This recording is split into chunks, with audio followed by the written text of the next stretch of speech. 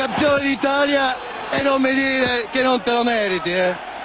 Ma ce lo meritiamo tutti. Quando pensi di aver vinto questo scudetto?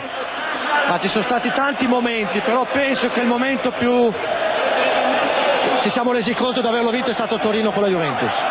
Senti, perché il Verona ha vinto il campionato d'Italia? Ma forse perché, perché... Il, il, il... Ecco che arrivano i due ragazzi, guarda.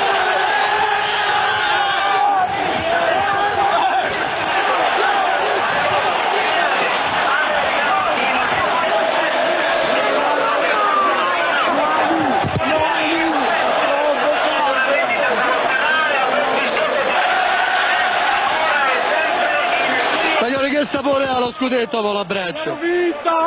Ma penso che sia un qualcosa che uno sente dentro, che diciamo un'avventura di un anno che viene, viene, viene consacrata in questi momenti qua.